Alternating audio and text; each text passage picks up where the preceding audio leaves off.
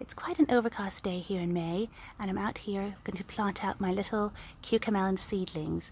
I grew these guys from seed two months ago and potted them on a month ago and now I think they're ready to go out even though they're still quite small. They are really slow starters but once I put them out in the sunshine on this warm patio hopefully they'll just take off. They're really wonderful plants. They have these amazing cucumbers.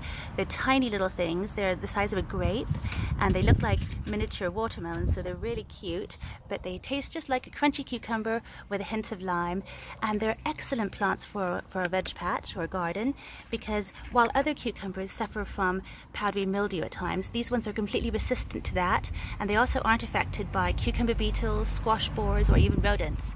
So really wonderful plants to grow.